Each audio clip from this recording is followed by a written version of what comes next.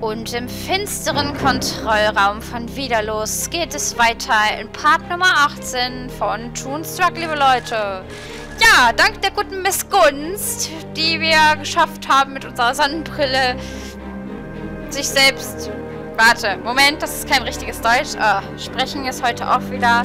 Super, gerade mal angefangen und ich kann wieder nicht reden. Super, ganz klasse.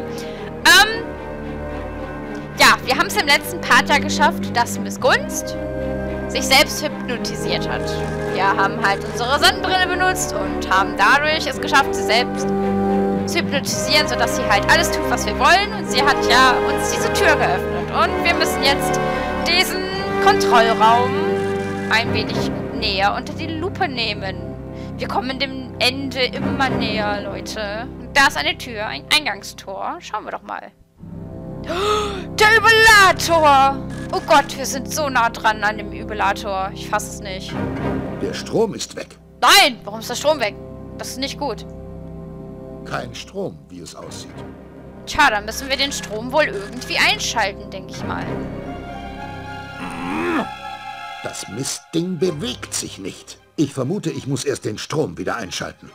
Das vermute ich auch. Da steht Energie ausgeschaltet.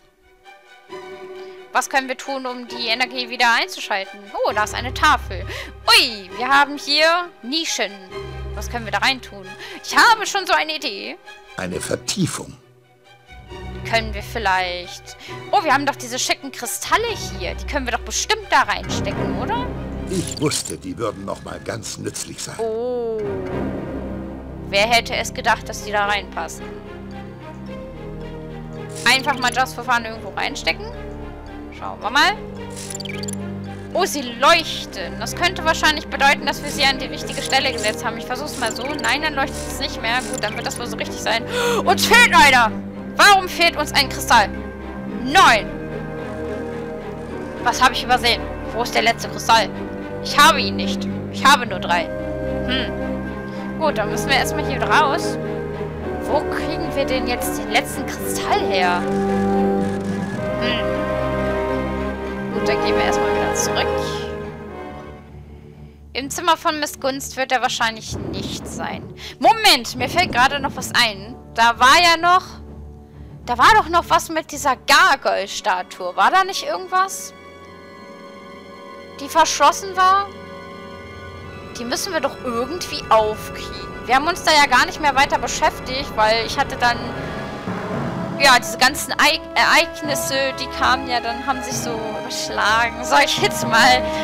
Ja, es ist ja einiges passiert so in den letzten Parts und dann ist mir... Ich weiß nicht, dann erschien mir das mit der Gargoyle... Gargoyle? Gott, Statue nicht mehr wichtig und... Irgendwie müssen wir den ja aufkriegen. Bewegt sich kein Stück. Scheint von innen verschlossen zu sein.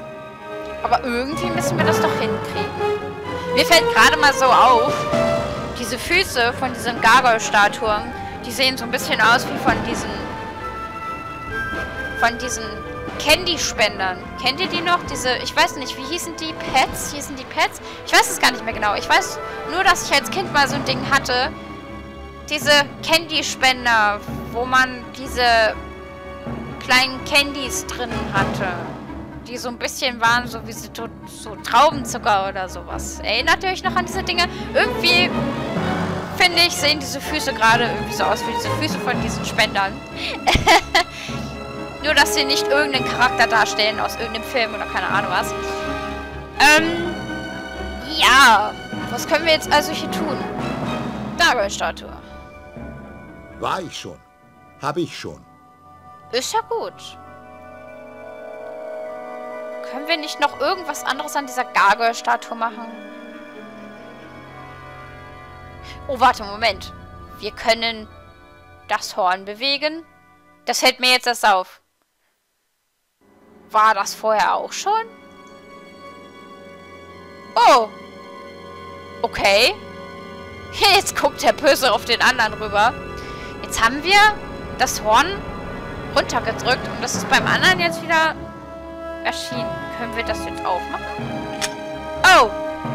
Okay, das ist natürlich fies. Das Horn verschwindet wieder, wenn wir uns dorthin bewegen wollen. Können wir vielleicht... Ich überlege gerade, was können wir machen? Können wir vielleicht diese Gargoyle-Statue irgendwie austricksen? Also, dass wir von der anderen Seite kommen, was aber ein Umweg ist, aber wir versuchen das einfach mal. Weil es bringt ja nichts, wenn ich jetzt nochmal dahin laufe, dann geht es wahrscheinlich wieder zu. Also werde ich, jetzt, werde ich jetzt einfach den Umweg nehmen über das Badezimmer. Über das Badezimmer kommen wir ja wieder nach ganz unten. So, dann bitte einmal in den Luftschacht wieder mal. Das wäre sehr nice. Nur Fliegen sind schöner. Nur Fliegen sind schöner. Zeit, dass die Fliege die Fliege macht. Ja, zum letzten Mal macht die Fliege die Fliege. Raus mit dir. Wir haben immerhin einen... Im, ein Überlator, Überlator zu stehen. Mein Gott, was ist heute wieder mit mir los? Ich schaffe es nicht mal, die ganzen Wörter hier auszusprechen. Oh, es ist so schwer. So. Gut. Dann gehen wir mal. Oh, da, da, da, so, jetzt muss das doch funktionieren. Ah, guck mal an. Von der Seite funktioniert es. Hey! Doppel-Aha. Doppel-Aha. Ja, das denke ich auch gerade. Irgendwie habe ich mir das schon gedacht, dass dort der Kristall versteckt ist, weil ich dachte mir, das Ding ist immer noch geschlossen. Es muss doch irgendwie aufgehen. Gut, ich habe es jetzt spät erst gemerkt, dass man das so öffnen kann. Aber hey, Leute, besser später als nie. Wir haben jetzt unseren letzten Kristall. Ein grüner Kristall. Das heißt, wir können wieder... Ja, jetzt ist mir das auch egal mit dem Ohren. Wir haben ja jetzt unseren Kristall. Das heißt, wir können jetzt wieder zurück zu dem Steuerzentrum gehen. Schauen wir doch mal. Schauen wir doch mal. Ah, wir sind so kurz vorm Ende. Ich bin ein bisschen aufgeregt, aber ich bin auch total... Ach, ich werde so traurig sein. Ich will nicht, dass es vorbeigeht. Ich weiß, das habe ich im letzten Part schon gesagt, aber ich will nicht. Ich habe so viel Spaß an dem Spiel. aber was will man machen? Alles findet irgendwann ein Ende. So, bitte einmal den letzten Kristall hier reinstecken. Mal, du bist ein Genie. Hallo, Energie.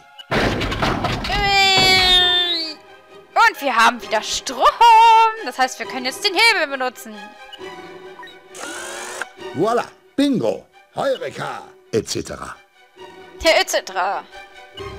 Damit ist das Warpgerät unser. So, Gevatter Widerlus, ich habe dein Warpgerät. Und ich weiß, wie man damit umgeht. Naja, nicht ganz genau. Aber ich bin sicher, ich komme irgendwie damit klar. Auch bestimmt. Und Widerlus kriegt nicht mal was davon mit. Das ist noch besser. Ui, was haben wir denn hier? Wack Me Tunix Netzwerksystem. Beleuchtung an. Eingangs Startrampe geschlossen. Deckenschleuse geschlossen. Überlatorkraftwerk aktiviert. Warum ist das von Wack Me? Ich habe keine Ahnung. Aber ich denke mal, dass ich hier was verändern muss. Dran. Ich denke mal, wir müssen die Startrampe und die Deckenschleuse öffnen und das Kraftfeld vom Überlator aus außer Kraft setzen. Dann schauen wir doch mal. Gut, das haben wir schon mal deaktiviert. Ähm, das war's glaube ich nicht. Nein. Oh, das ging schnell. Hätte ich jetzt nicht gedacht, dass das so schnell geht. Da ist der, Leute. Der Überlator. Wir können jetzt von ihr verduften. Das hoffe ich zumindest. Oh. Endlich raus aus diesem Schloss. Ja, ich hab's geschafft. Juhu! Na denn. Juhu! Wir können jetzt mit dem Überlator fliegen. Meinen Glückwunsch, Mr. Block. Ich habe Sie natürlich erwartet. Glückwünsche? Ach was, nicht nötig, nicht nötig. So jämmerliche Sicherheitsmaßnahmen habe ich nicht mehr gesehen, seit ich das letzte Mal deine Schläger vor mir hatte. Ich muss zugeben, ich habe mehr von dir erwartet, Widerlust. Und jetzt sag Tschüss zu deinem Apparat. Einen Moment noch, Mr. Block. Gib dir keine Mühe, es gibt nichts, was mich überzeugen könnte. Nichts? Dann beantworte mir eine Frage. Warum willst du dich zu diesem idiotischen Ausflug hinreißen lassen, wenn ich dich doch einfach in deine Welt zurückschicken kann? Keine Chance. Ich habe genug davon. Aber, aber, Block, ich sage das doch nur in deinem Interesse. Du erinnerst dich an dein kleines Missgeschick mit meiner Spritze? Die Zeit läuft ab. Das hier könnte deine letzte Chance sein. Ich brauche deine Hilfe nicht wieder los. Ich habe dein Warp-Gerät schon gefunden und jetzt werde ich dich vom Himmel fegen. Halt! Ich befehle es! Ich bin noch nicht fertig!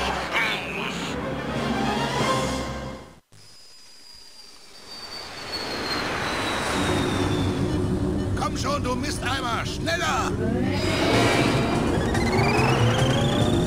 Da bist du ja wieder los. Und Fluffy ist auch da.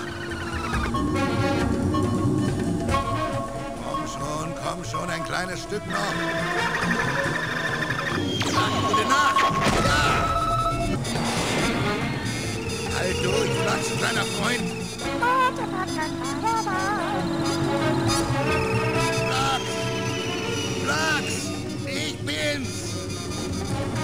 Flax! Hallöchen mal, alter Freund! Juhu! Juhu!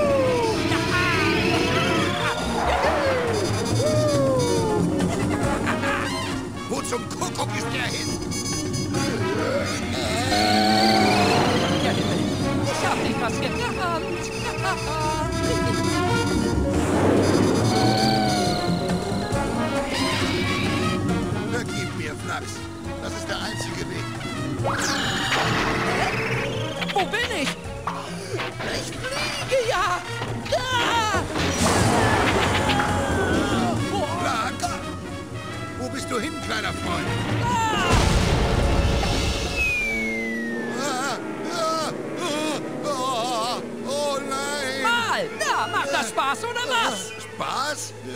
Ich stürze hier gerade zu Tode. Ach komm schon, du feige Nuss! Kein Tun ist je an einem kleinen Sturz gestorben. Obwohl dir das wahrscheinlich nicht viel hilft. Flax! Es wird schlimmer. Widerlust hat mich mit Mutagentinte vollgepumpt. Ich kann mich jeden Augenblick in einen Thun verwandeln. Selbst wenn mich der Fall nicht umbringt, bin ich hier für immer gefangen. Mal! Du bist verloren! Hör mir zu. Es gibt für mich nur noch eine einzige Hoffnung. Ich... Ich habe Widerlust dieses Warp-Gerät gestohlen. Es kann mich nach Hause bringen, Flax. Oder es kann mich in handliche äh, Hundefutterwürfel zerblasen. Aber wie auch immer, ich muss es benutzen. Jetzt! Warte! Nimm das hier mit! Ein transdimensionales Kommunikationsgerät, damit wir in Verbindung bleiben. Danke, dass du mich gerettet hast. Und die ganze Welt. Ich fand's saustark. Fand ich auch. Bis dann, kleiner Freund.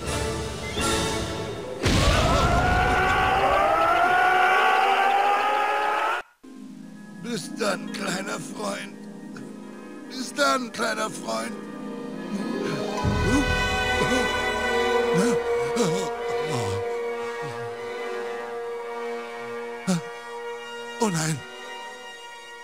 Muss geträumt haben. Aber mein Traum, er hatte, er hatte etwas zu bedeuten. Natürlich. Die Fluffy Schnuckelhäschen Show braucht nicht noch mehr Hoppelhäschen. Was die Fluffy Schnuckelhäschen Show wirklich braucht, ist Flachs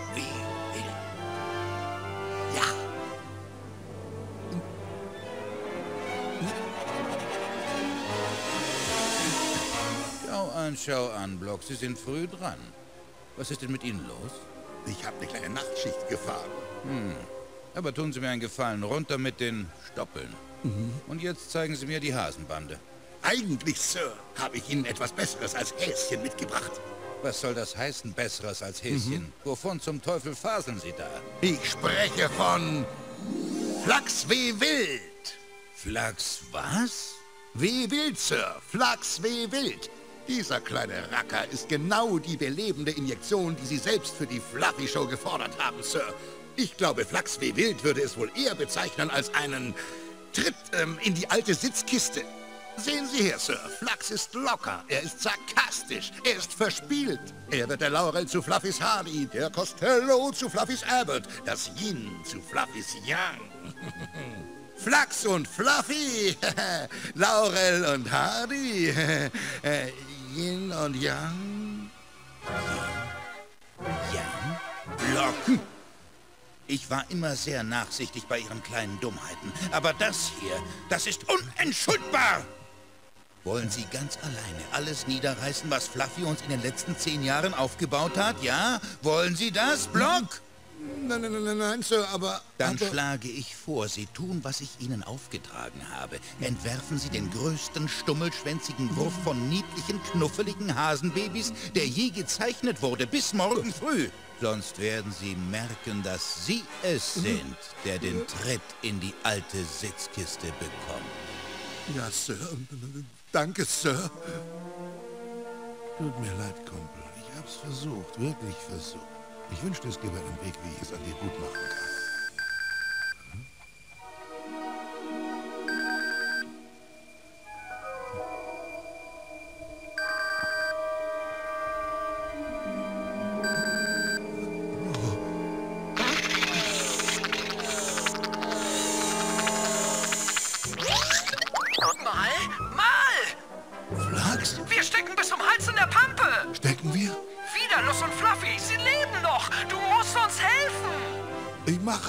Aber warte, warte mal, wie komme ich denn dahin? Naja, dank Widerlust Mutagentinte sollte das kein Problem sein. Nicht?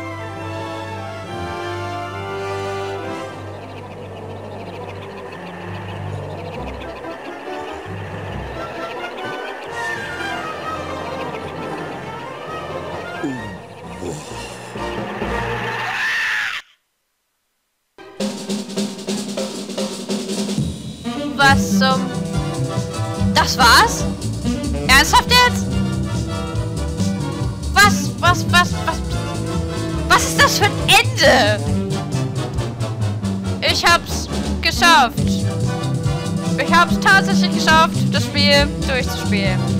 Nach, keine Ahnung, wie vielen Jahren. Ich weiß es nicht genau. Ich hab's ja damals nie durchgespielt, wie ihr wisst. Und jetzt war's das nach diesem wundervollen Abspann. Ich meine, es war ein guter Abspann, aber... What? Was war das für ein Ende? Leute, habt ihr mit so einem Ende gerechnet? Also ich bin ehrlich gesagt so ein bisschen leicht, aber bisschen leicht enttäuscht von diesem Ende. Ich weiß nicht.